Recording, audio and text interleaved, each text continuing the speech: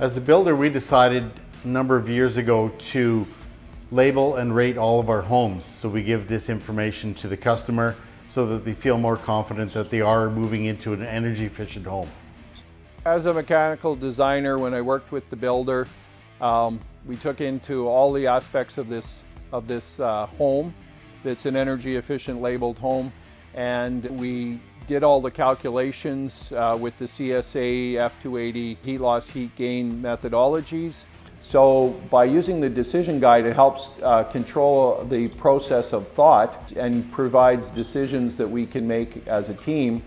So the outcomes that we found by using the guide and then also eliciting the information that we get from the me mechanical designer, right sizing the equipment, as I mentioned before, is very important. The other thing too is to take, take value of the windows that we use to make sure that we get credit for the fact that the types of windows that we're using are reducing the amount of solar gain or heat gain that we have in the summer. By doing a proper heat loss heat gain calculation on a house, we're able to uh, address the heating requirements and the cooling requirements of the individual rooms in the house. We use software that's approved uh, to do the calculations to the CSAF F28012 method.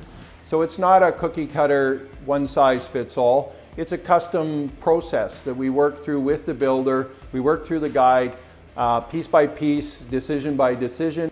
This paired with the heat loss calculation and the duct sizing we get a consistent design between every time that we build the same model over and over again.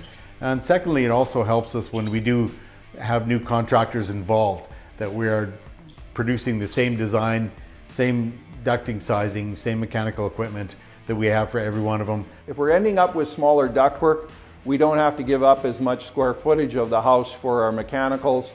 We were able to, on uh, many of their plans, uh, reduce the air conditioning load by uh, about a half a ton in, in average. So that ended up translating into smaller costs for the air conditioner and it influenced our ductwork and our ductwork was not, uh, didn't have to be oversized.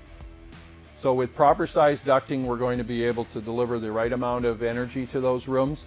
With proper sizing of the furnace, we're going to end up having it run appropriately and the end result for the, uh, for the consumer is a comfortable home and the benefit to the builder is uh, less callbacks, no complaints about the cooling and heating of their homes.